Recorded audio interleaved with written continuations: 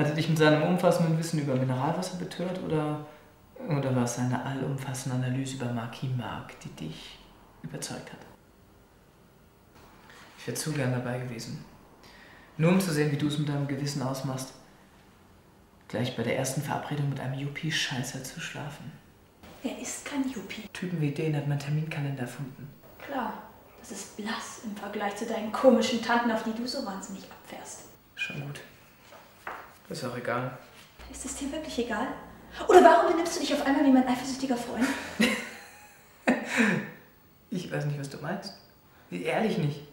Ich wollte eigentlich nur lesen.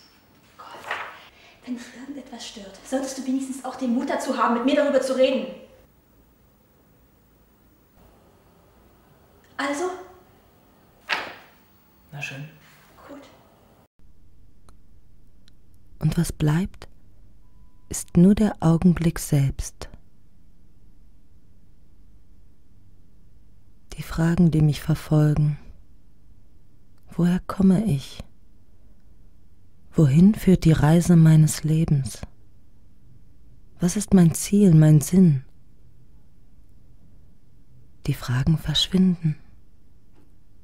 Vielleicht ist das der Sinn, einfach zu sein, dass alle Fragen aufhören und mit ihnen die Zeit.